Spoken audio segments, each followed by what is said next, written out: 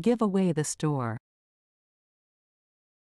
The idiom, give away the store, is an expression used to describe a situation where someone is overly generous or gives away too much, often resulting in a disadvantageous outcome for themselves.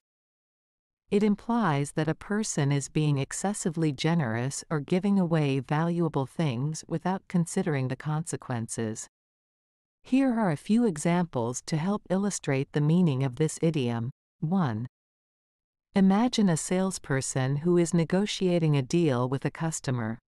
If the salesperson offers a significant discount, throws in extra products, and gives away all the profit margins just to close the deal, they are giving away the store.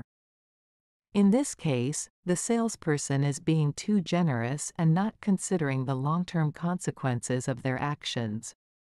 2.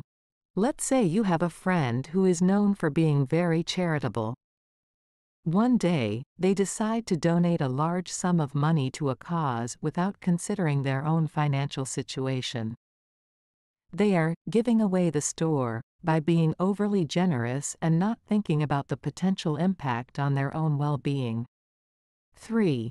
In a business context, if a company offers extremely low prices, freebies, and additional services without considering their own profitability, they are giving away the store.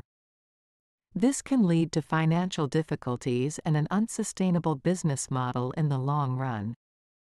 Overall, the idiom, give away the store, emphasizes the idea of being too generous to the point of self-detriment. It serves as a cautionary expression to remind people to consider the consequences of their actions and not give away too much without proper evaluation.